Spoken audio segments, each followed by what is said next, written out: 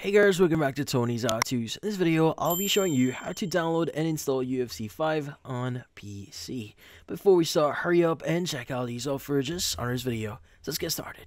So if you're looking for a way to download and install UFC 5 on your PC, well, there are a few things that we need to understand here. So currently if you visit the EA website here and go to games and let's go click on latest games here and look for UFC 5 you'll notice that the option for PC may be missing. Let's go and just look for UFC 5 here first. Let's go and click on official site.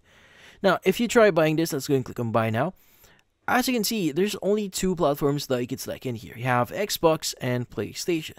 Now, with that said, does UFC 5 have a PC version? Well, to answer you clearly or to answer your question here, well, the direct answer is no. As of this moment, there's no PC port or PC version of the game itself, but you can still play the game via other means. Now, if you're not aware yet, there is a platform called Xbox Cloud Gaming. Now, like we saw before, UFC 5 is available on the Xbox. Now, if you use or basically try Xbox gaming platform here, this actually allows you to play Xbox games on your PC.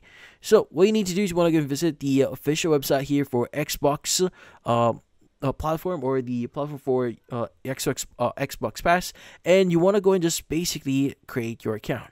Go and click on View Supported Regions and see if Xbox Cloud Gaming is available in your uh, region. Now, again, it's only available in certain regions, but if it if it is available, you could basically avail that and basically select or you want to create your account and basically sign up via the platform. Now, obviously, you need to pay a certain fee in order for you to use the platform, and you also need to buy the game via the Xbox platform here in order for you to start playing it.